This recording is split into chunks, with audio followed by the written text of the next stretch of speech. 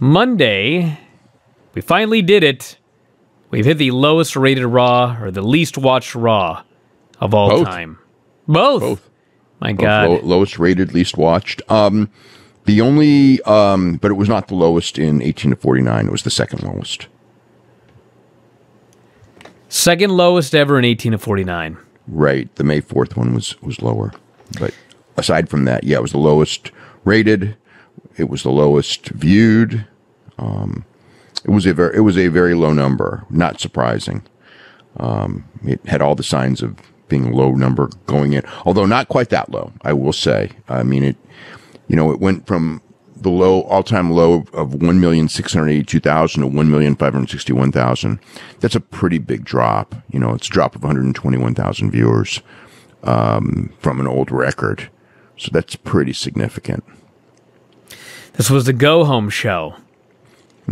Yeah, For the Extreme for Rules Sun- Sunday show. for Sunday's pay per view. Yeah, I don't think that that uh, plucking the eye out thing um, is is has been that successful of a program. I'm not blaming it on any one thing. It's a combination of a lot of things. Um, you know, probably. I don't know. Probably just you know, pandemic and not not having crowds and angles not clicking. Um, you know, all kinds of different things. I'm sure. I think show sucking is probably largely at the top of the list here. I mean, it's sucked for for a long time, so it's going to gradually go down. But it's going it's going down at a faster than gradual level. I will say that.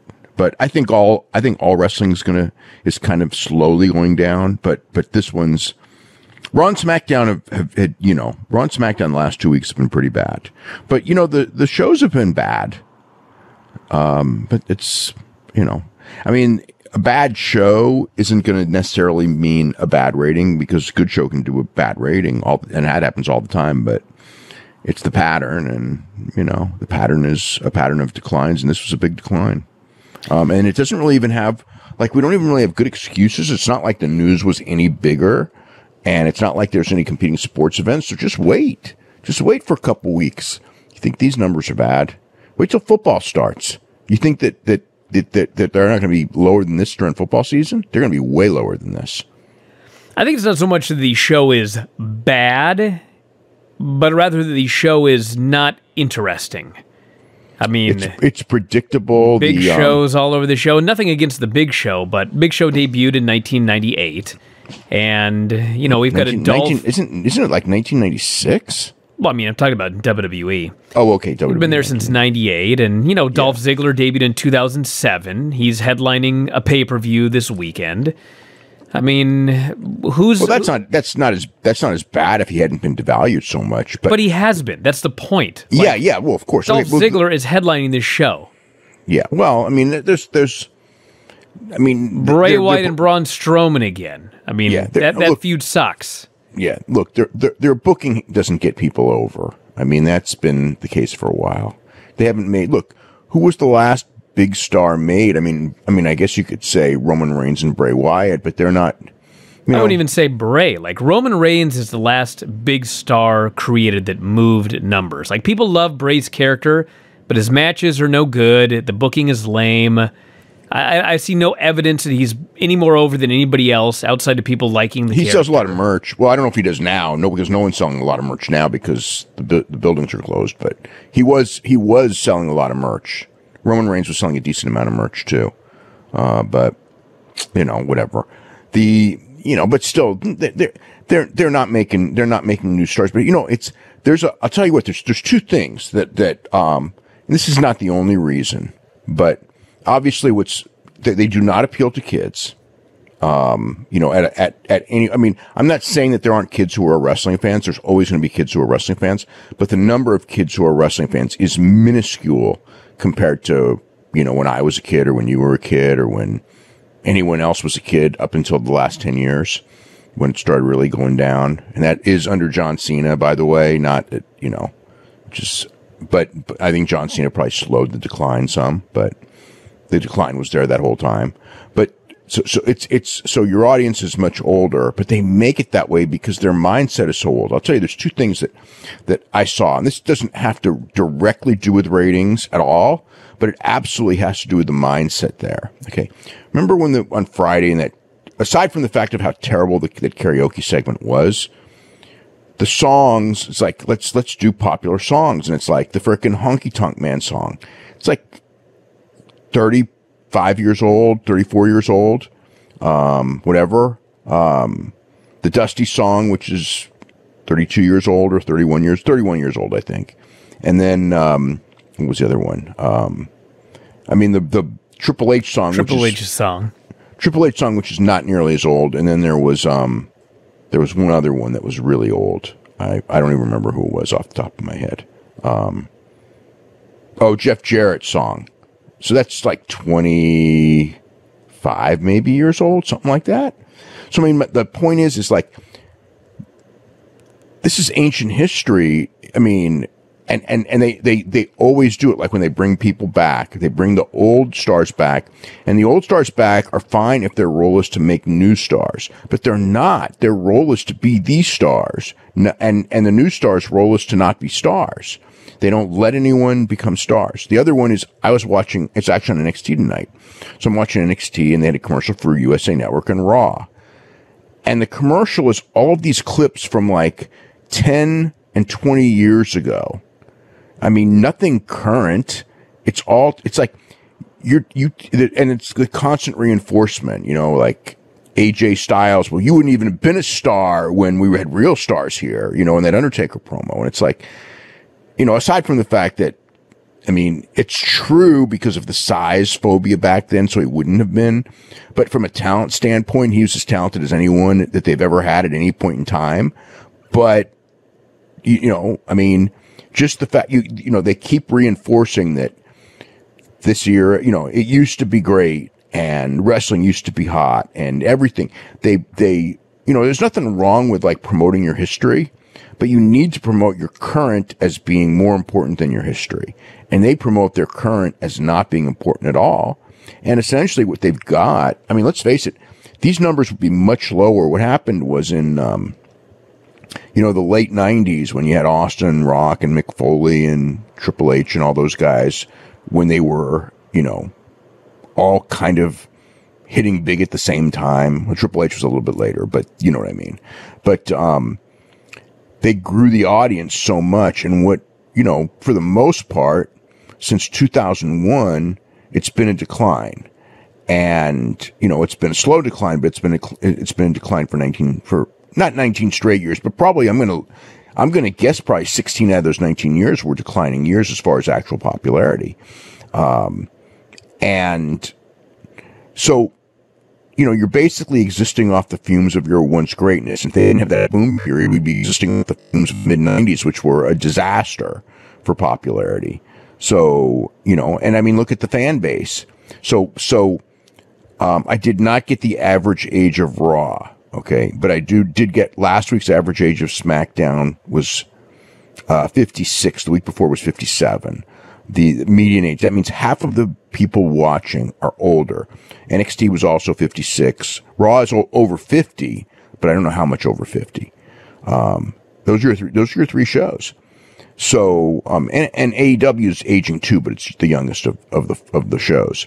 But the point is, is like it's essentially you know, when you do that, the fact is, is that it's a self fulfilling prophecy in some ways because when, you know, all these fans, they do know that's Jeff Jarrett's song, and the Honky Tonk Man sh- song, because that's most of the fans you got left. And that's the problem right there.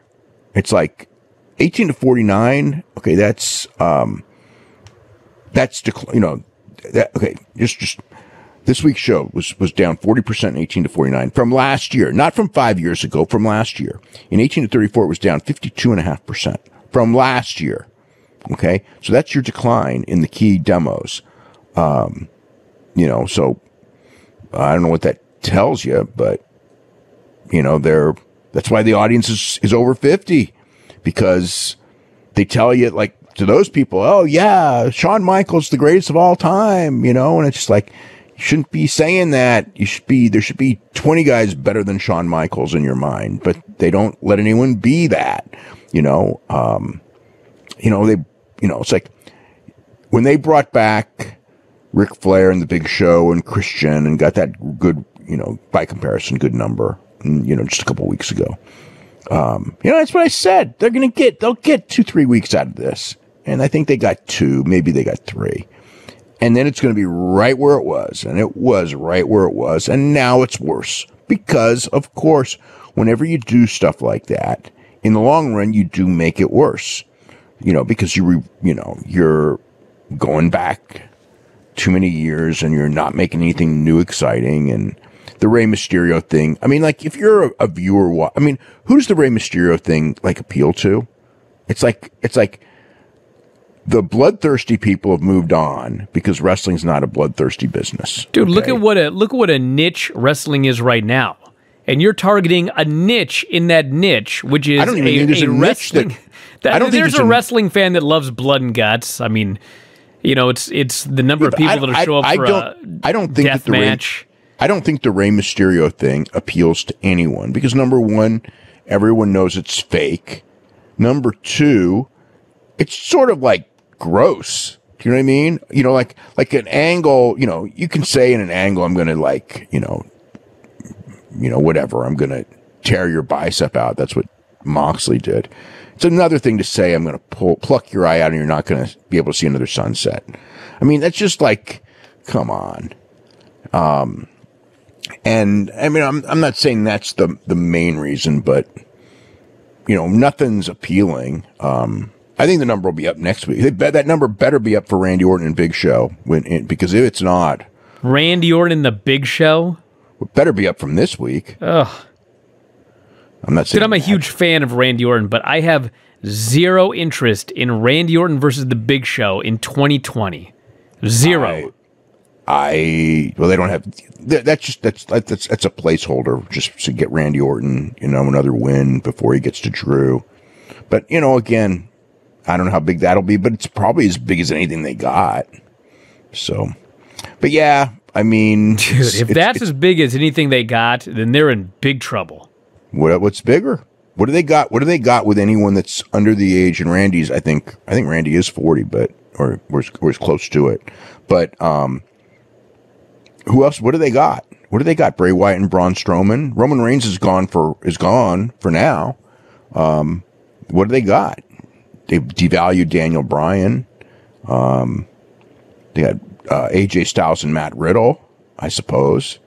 Um, but what do they got? I mean, realistically, what do they got? What, what are they building to? What's the big the big WrestleMania match that they're building to? They they don't got they you know bring back Brock Lesnar, I guess, right? You know, and uh, I don't know.